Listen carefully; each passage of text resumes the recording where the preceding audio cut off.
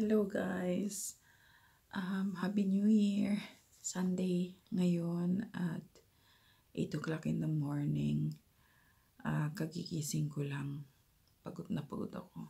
Parang gusto ko pang matulog kaya lang tomorrow mag-work na ulit ako.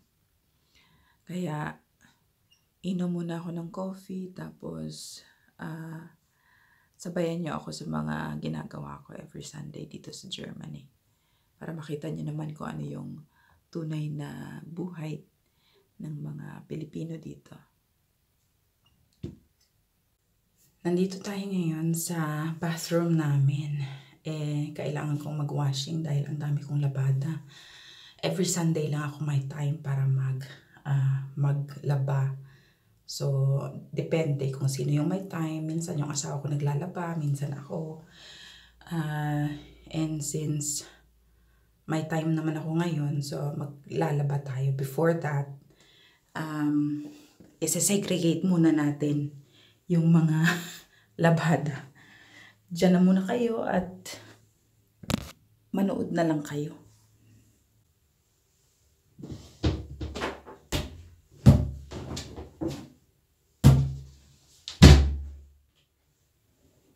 Unahin ko na muna yung mga mga itim kasi um, mostly yun yung pantrabaho ng asawa ko. Para may magamit naman siya. Ayan.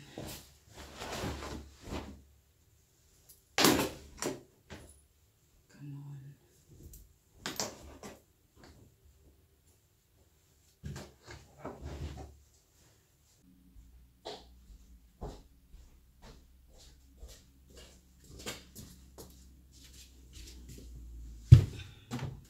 Lalagay na natin siya sa washing machine.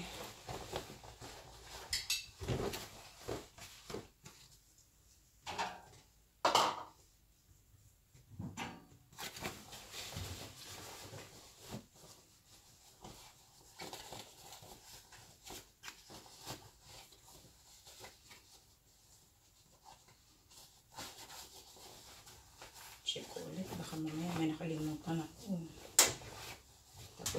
Ko.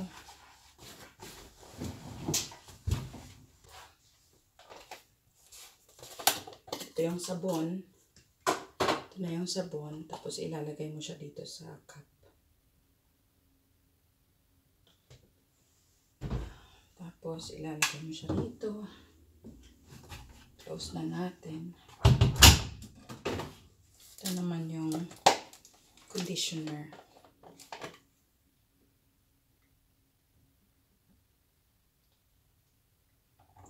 Isa lang okay na.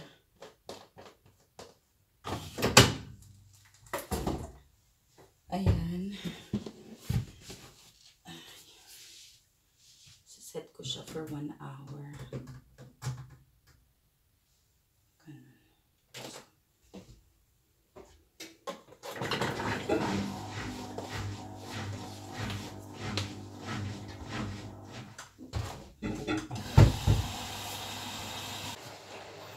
Habang naghihintay ako ng aking labada, mag-coffee na muna. First coffee ko pa yung kanina.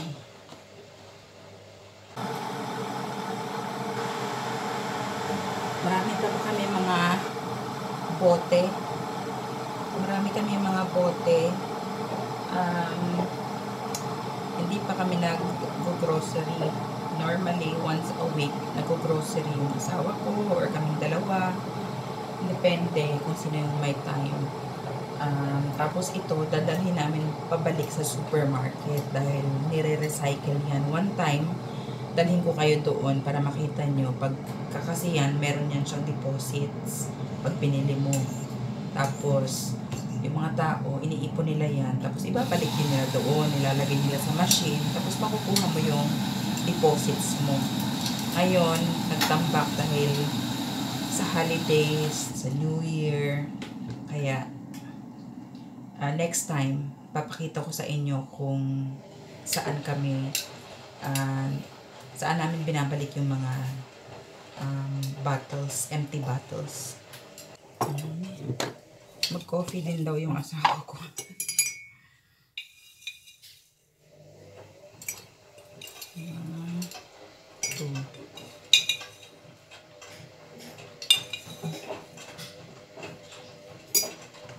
Ito yung iniinom ko.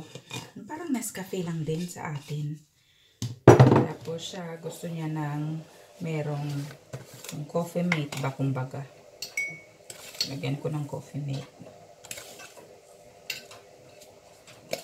Tapos ako rin.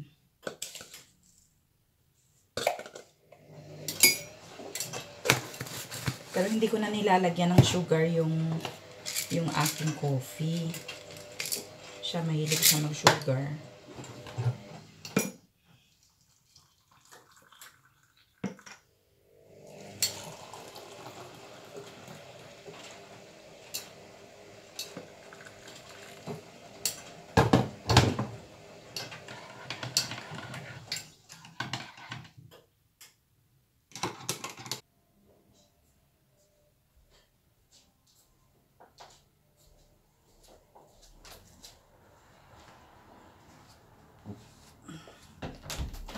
Mag-coffee na muna kami habang naghihintay sa aking labada.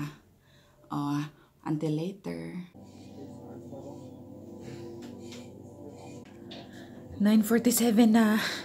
Parang nagugutom ako. So, kakain muna ako bago ako mag-move forward. Tapos na ako uminom ng coffee.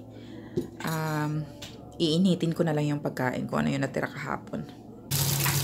Ayan, kung ano yung natira kagabi, iinitin ko na lang.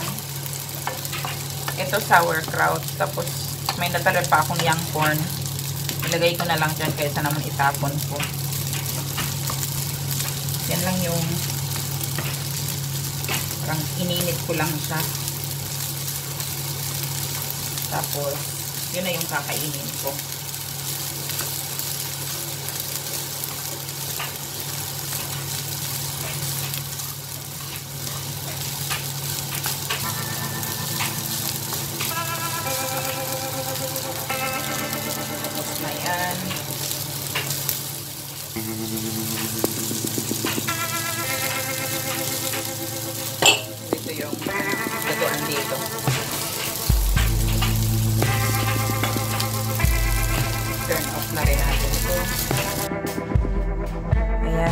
Nang matapos. 2 minutes na lang. Tapos na yung aking labat. Pag natapos na, ilalagay ko na siya sa dryer. Tapos na yung ating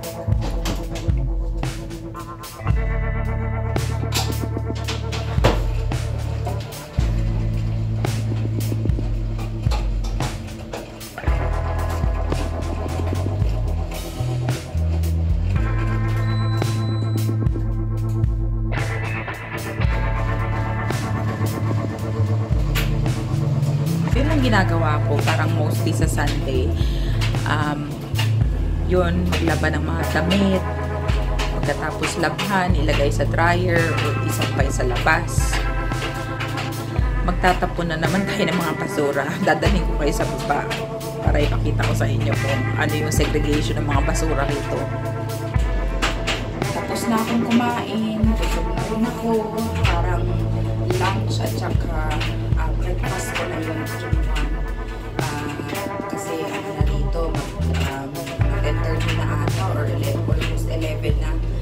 habang hinihintay ko yung aking mga labada na matapos, ay magpupugos muna tayo ng mga pinggan, tsara tayo, mga pinagkainan natin.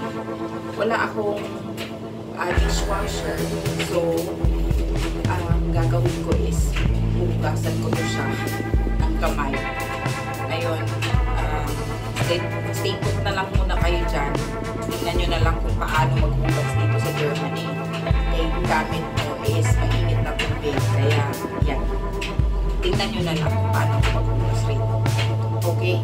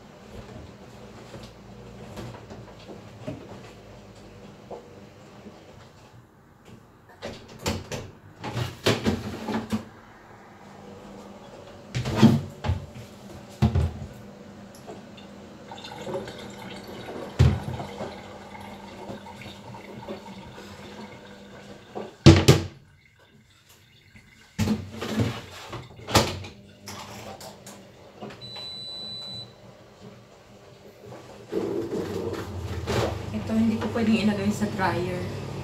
Ihang ko na lang siya sa ano sa bathroom. Ngayon, um, hindi pa rin ako tapos maglaba, pero tapos na akong maghugas ng plato at lahat-lahat. So, itatapon na naman natin sa baba yung aking mga basura. Samahan nyo na lang ako magtapon ng basura.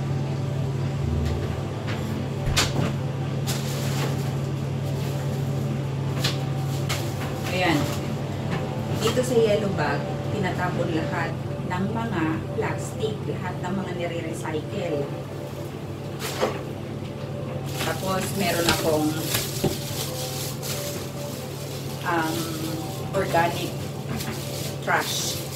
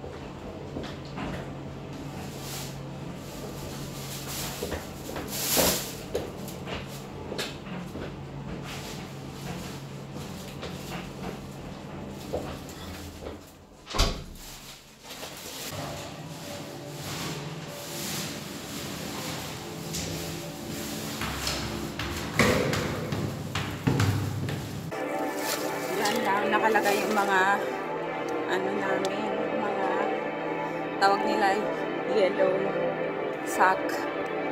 Yan, yellow plastic kasi yung lahat ng mga nare-recycle ng mga plastic is ilalagay mo sa yellow plastic. Yun yung allowed. Ito naman yung mga blue container. Dito nilalagay yung mga paper. Out.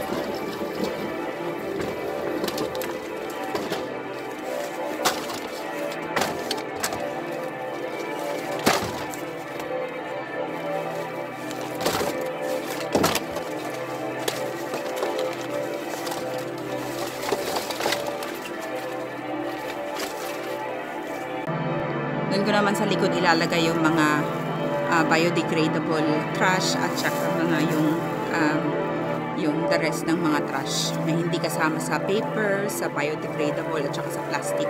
Black container. Full na naman ata siya. So dito ko nilagay yung bio bio or organic trash. Dito naman yung parang the rest nasa black container siya. So, lahat ng mga trash segregated. Okay. Akyat na ulit tayo. At yung mga bottle, hindi ko na muna siguro itatapon.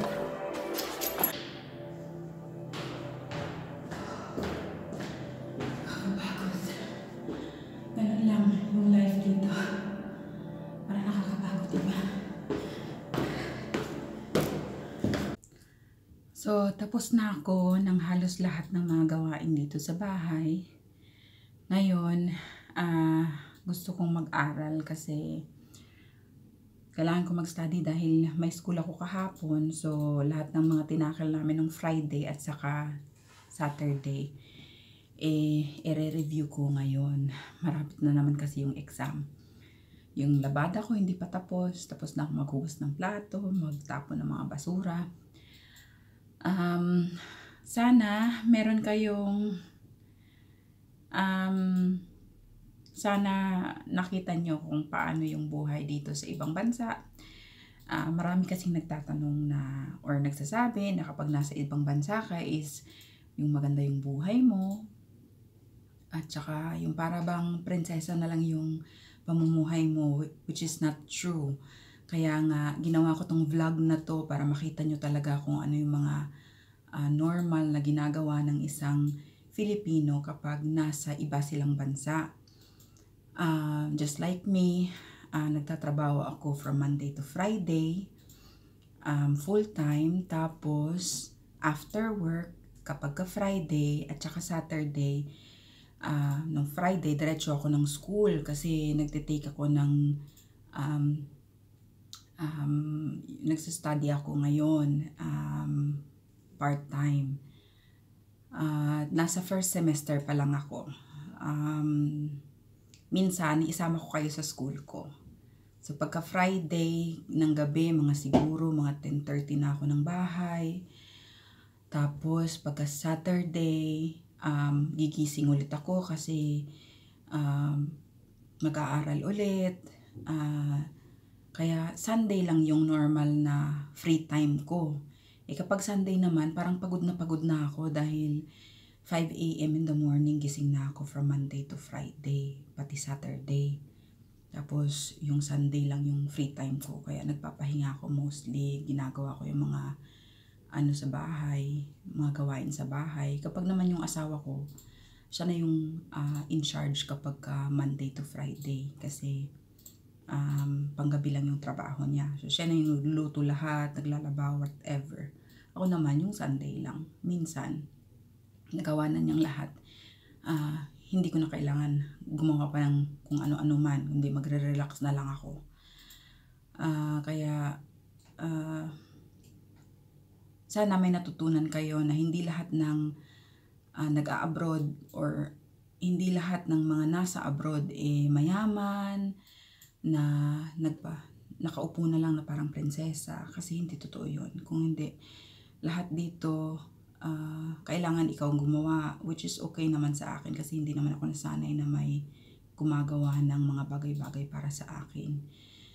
Ang um, ano, tapos yun, yung mga ganong klaseng bagay, gusto ko lang makita ninyo na kung ano talaga yung tunay na buhay dito sa ibang bansa. Kaya sana minsan maintindihan nyo na yung parang ano, yung nagiging attached yung mga pamilya no na sa ibang bansa. Kasi sabik silang makausap kayo.